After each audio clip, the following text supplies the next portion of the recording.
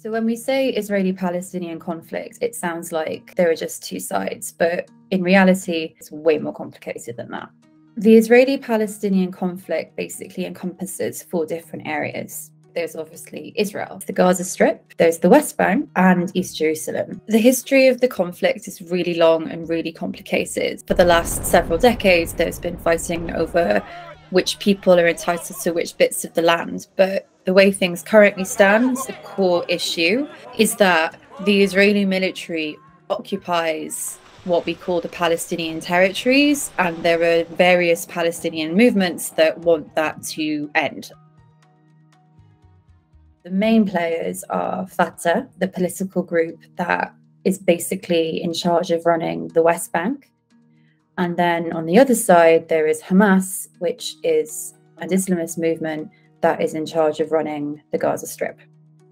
So the political ideologies of Fatah and Hamas are not particularly compatible, which makes it difficult for there to be a kind of united Palestinian front against the Israeli occupation of the Palestinian territories. When we say occupation, what that means is the Israeli military presence in the Palestinian territories. Daily life for Palestinians who live in these three different areas looks completely different. It's much more mixed up and much more complicated than just this blanket Israel versus the Palestinians.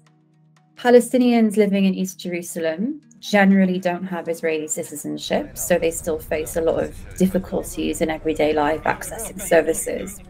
To Israel, West and East Jerusalem are both part of Israel, but to the Palestinians and to most of the international community, East Jerusalem is the capital of a future Palestinian state. Palestinians living in Gaza arguably have the rawest deal. It's home to more than 2 million people. People often talk about Gaza as being the world's biggest open air prison. Israel has total control of everything that comes in and out. 97% of the water is undrinkable.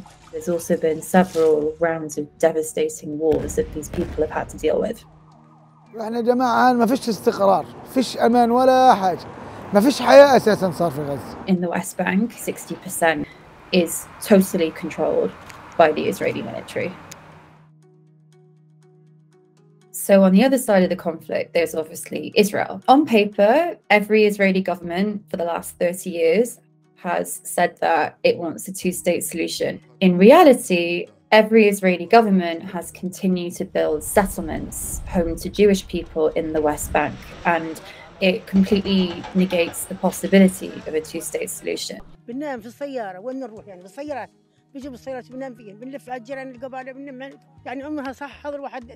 Prime Minister Benjamin Netanyahu has had no interest in pursuing the peace process at all.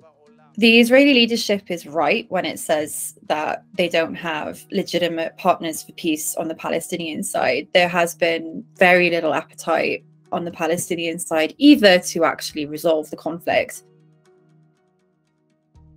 for the last 15 years. The actual large scale warfare and fighting has been concentrated on the Gaza Strip, devastating rounds of war between Hamas and Israel with rocket fire on both sides.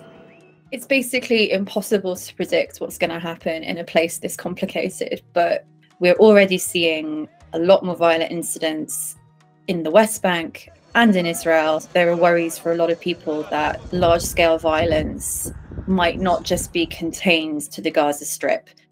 It might be happening on a large scale, the other side of the Green Line within Israel itself.